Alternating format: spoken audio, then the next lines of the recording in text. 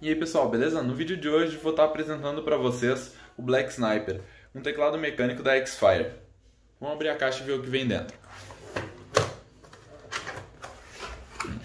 Abrindo aqui a gente vê já o teclado, embalado nesses plásticos. E na parte inferior aqui também vem aquela chavezinha para trocar as teclas. Vamos tirar ele daqui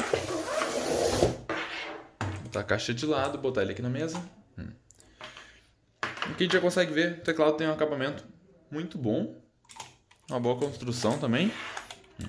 um acabamento em alumínio, essas bordas mais brilhosas, os cantos dele.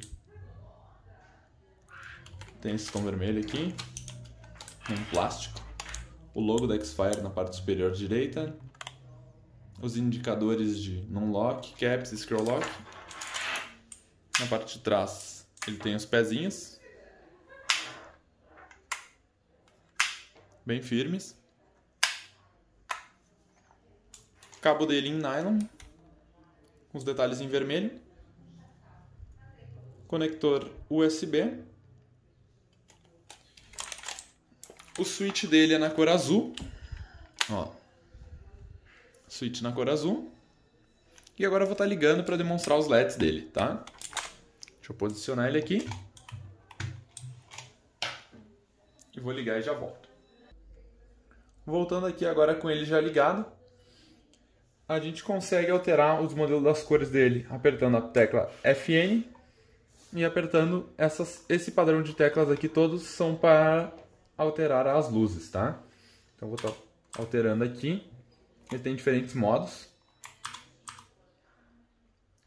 São diversos modos que ele possui.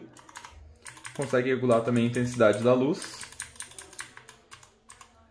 Nos que tem movimentação a gente consegue regular a velocidade também. Consegue regular também a direção. É isso.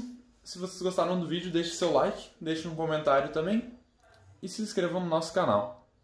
Até o próximo. Valeu!